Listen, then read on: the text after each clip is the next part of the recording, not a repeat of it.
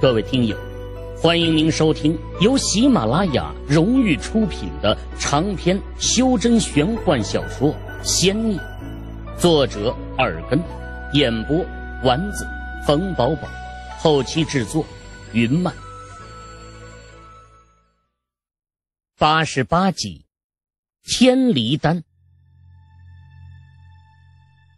光幕之内，成百上千个修士。纷纷神色慌张地望着天空，其中一个白发老妪身子飞出，厉声喝道：“火焚国的道友，这是何意？”战神殿杨森身子轻晃，出现在光幕之上，他神色平淡，右手一抓，那光幕立刻发出不堪重负的吱嘎声，顷刻间破碎成片，消散一空。老妪目中瞳孔一收，二话不说，转身就走，身子一闪间呢，已然逃出十里之外。但天空中的云层蓦然间凝集在他前方，化作成杨森的样子。他冷冷地看了老妪一眼，一语不发，大手一挥，老妪厉笑一声，一拍额头，元婴离体而出。元婴刚一出现。他的肉身立刻被一股毁灭性的力量击成碎片，老妪心惊胆战他只不过是元婴初期，可对方的实力显然是元婴中期的顶峰。这等修为，即便是宣武国内也不超过三人。他甚至连反抗的心思都没有，只想逃过此劫。哼，你跑不掉！杨森轻哼一声啊。跨步追了出去，杨森这里暂且不提呀。单说这山峰的光幕破碎后，火焚国筑基结丹修士立刻一哄而上，见人就杀。也就是片刻之间呢，整个山峰血流成河，无一活口。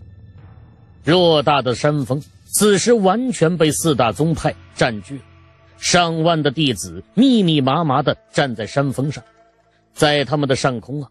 除去杨空在内的十八位元婴修士飘然其上。战神殿宋姓修士目光如电，语气中充满肃杀之意，沉声道：“这是一场没有对错的战争。如果我们无法在三个月之内立足宣武国，等待我们的将是火兽破阵而出。火兽不可怕。”真正可怕的是，没有了可供修炼的天地灵气。战神宗、邪魔宗、洛河门、噬阴宗，在这一刻起，我们联合在一起，统称为火焚盟。但凡盟内弟子筑基期，每人均可获赠一件丹宝；结丹期，获赠一件元婴级别法宝。战争期间。所有杀人夺取之物品均属个人应有，盟内不会收缴一件。弟子们，这是一场战争，但我个人更希望你们把它看成是一场侵略，一场为了生存的侵略。洛河门一个元婴修士干咳几声，在一旁说道：“除法宝之外，你们每人将会获得一块玉符。”此玉符可记录你们的杀敌数量，反杀凝气期五层以上百人者，或筑基期十人者，送中品灵石十块；杀凝气期五层以上二百人，或筑基期二十人，或结丹期一人，送灵药十瓶。洛河门元婴修士中啊，走出一个全身干瘦的老者。他身穿黑袍，脸上刻满了深深的皱纹，目光昏暗，看起来没有任何的精神。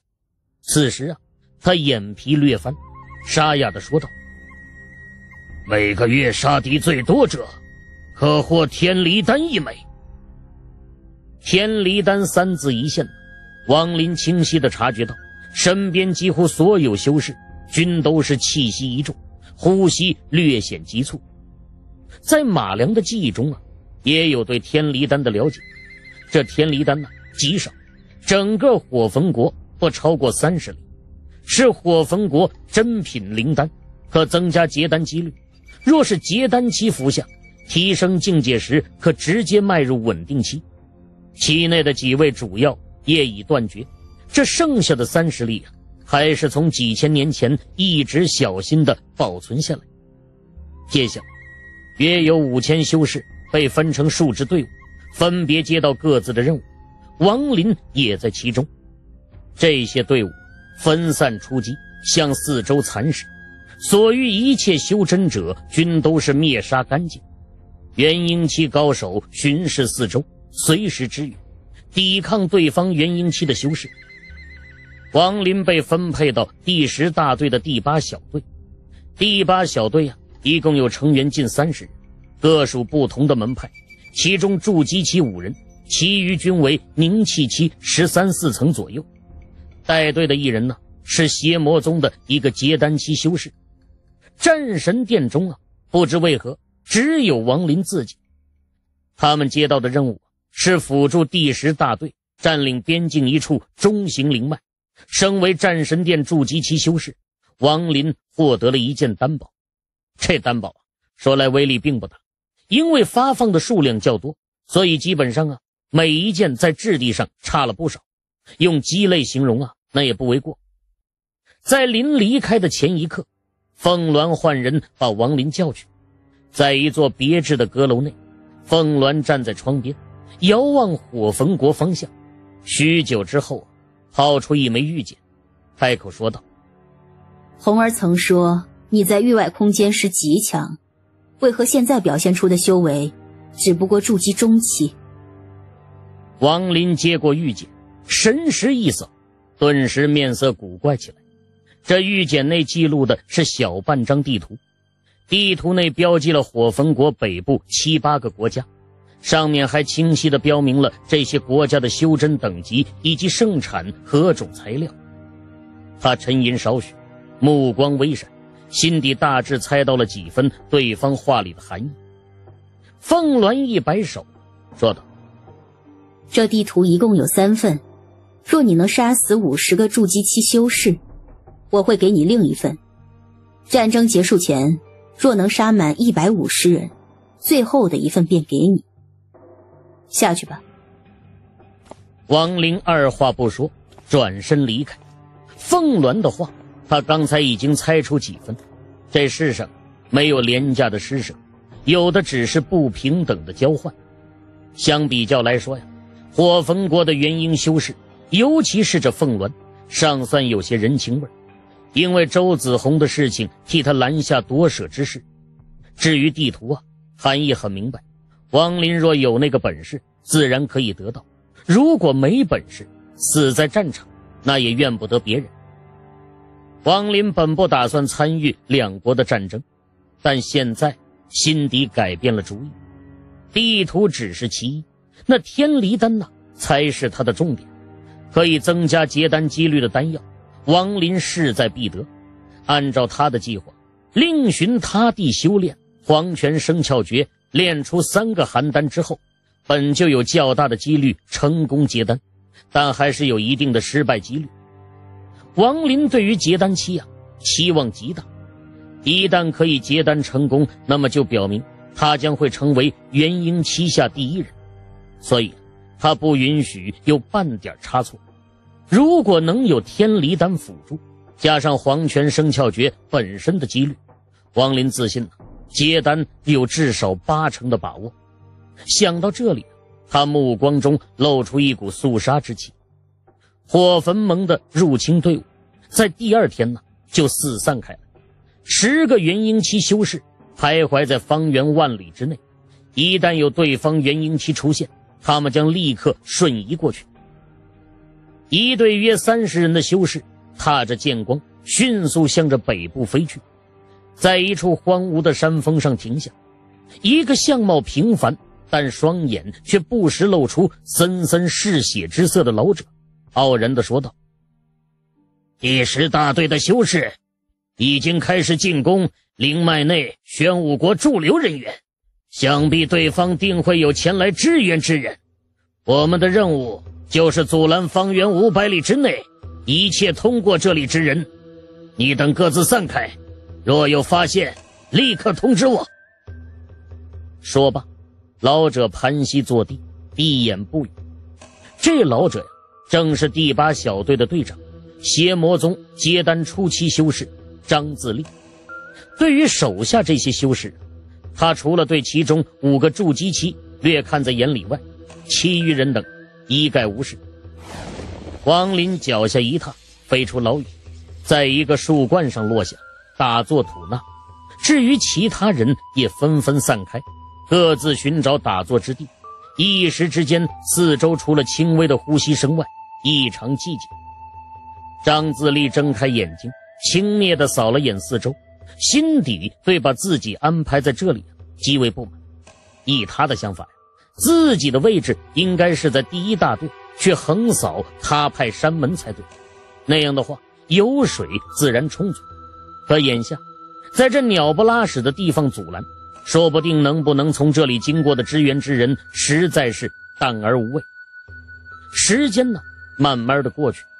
蓦然间，王林睁开双眼，望着远处。嘴角露出一丝冷笑。此时，张自立也察觉到了异常，立刻站起身子，遥望远处，只见十余道剑光急速飞来。张自立舔了舔嘴唇，张口吐出一道墨光。那墨光一现，立刻化作一把剪刀。他右手一挥，那剪刀立刻射出。与此同时，他阴笑几声，喝道：“杀！”说罢，他脚下一踏。身子如利剑般送出，四周的第八小队修士一个个随之冲起，拦在半空。双方根本没有其他言语，一看到对方便立刻杀上。宣武国这十余人呢，没有结丹期修士，全部都是筑基期。他们一看到张自立，顿时分出八人，摆下一套古怪的剑阵，把张自立围在其内。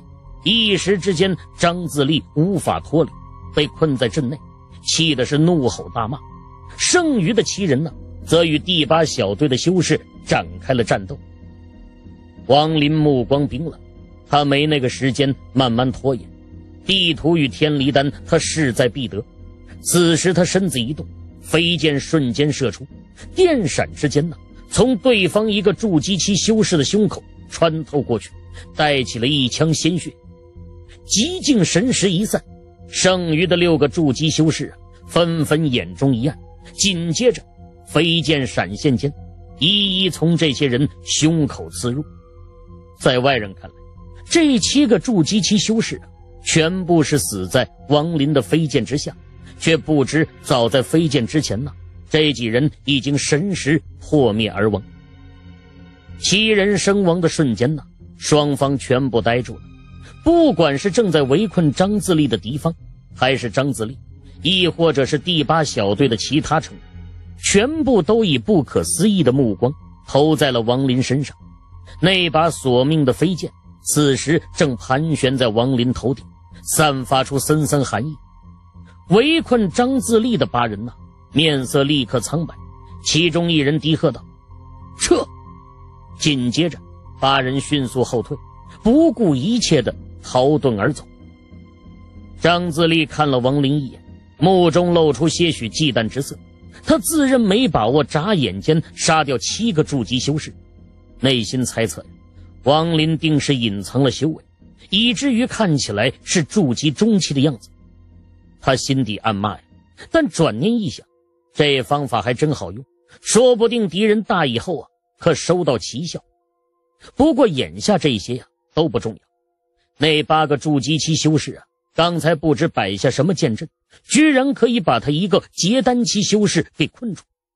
这等事情啊，太过有损颜面，尤其是在自己队员跟前。张自立面色阴沉，身子向前一送，追了出去。